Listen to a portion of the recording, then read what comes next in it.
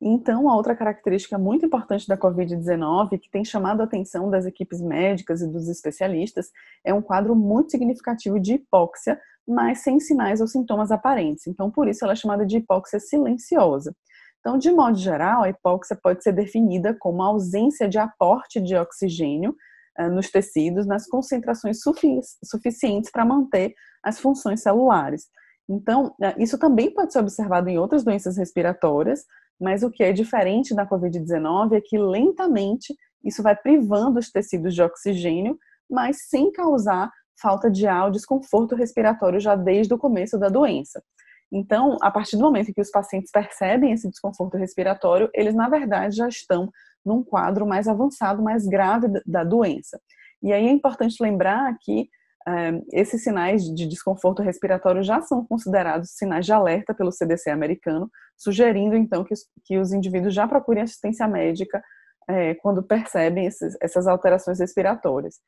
Então, isso tem levado a uma grande surpresa dos especialistas, porque os níveis de saturação desses pacientes, quando são detectados, estão baixíssimos. Isso já se esperaria que esses pacientes apresentassem algum, alguns quadros de confusão mental, por exemplo, ou até mesmo choque mas eles são encontrados num estado bem. Esses pacientes é, estão acordados, calmos, respondendo a estímulos, conversando, interagindo com a equipe médica. Então isso também isso tem sido muito surpreendente e uh, ainda não se sabe quais os motivos que levam esses pacientes a terem uh, os níveis de saturação tão baixos, mas não apresentarem desconfortos significativos no, na respiração. Apesar disso tudo, o vírus já é, causou, já teve um impacto significativo dos tecidos desse paciente, é, de modo muito silencioso. Então, é, outras doenças respiratórias, enfim, de modo geral, podem causar alterações pulmonares, levando a maior rigidez do tecido pulmonar por conta, por exemplo, de inflamação, formação de fibrose, de cicatriz pulmonar, e também é, acúmulo de líquido por edema, por exemplo, ou pus, isso leva à perda de elasticidade pulmonar. E esse enrijecimento é, impede o movimento dos pulmões, criando então essa sensação de dificuldade ao respirar.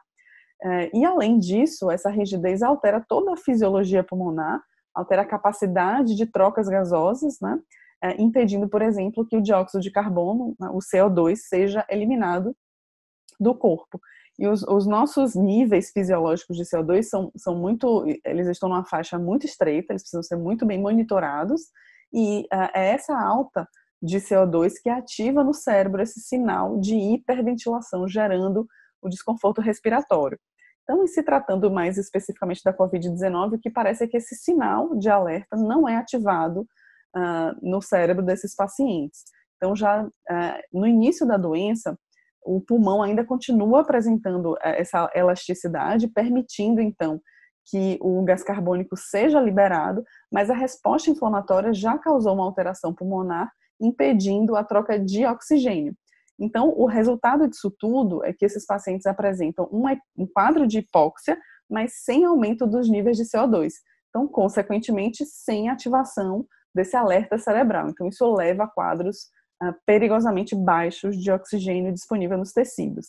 Então, alguns estudos que fizeram autópsia de pacientes que foram a óbito por Covid-19 é, sugerem que a infecção, né, ou seja, o vírus, causa inflamação muito precoce já nos alvéolos pulmonares, impedindo essa troca de oxigenação, de oxigênio, mas permite que uh, o CO2 seja liberado, porque ele tem um transporte mais rápido uh, entre as células. Então, uh, isso levou alguns profissionais a tomar, a, refletir, né, a reavaliar as condutas ali na beira do leito, né, como, por exemplo, adiar o uso de ventilação mecânica, é, obviamente, a não ser que o quadro desse paciente se agrave muito, né, mas adotar medidas menos invasivas, como oxigenação suplementar e a adoção da posição pronada, que é aquela em que o paciente é, fica de bruços, por permitir um, é, a melhoria do fluxo de oxigênio. É, outro lado também, é, alguns especialistas sugerem ou indicam o uso de oxímetro, que é aquele aparelho utilizado na ponta do dedo, para medir a saturação sanguínea. Então, é, mesmo nas suas casas, os pacientes podem usar esse aparelho e os médicos podem ir monitorando os níveis de saturação para realmente os pacientes procurarem a assistência médica ou a emergência quando for realmente necessário.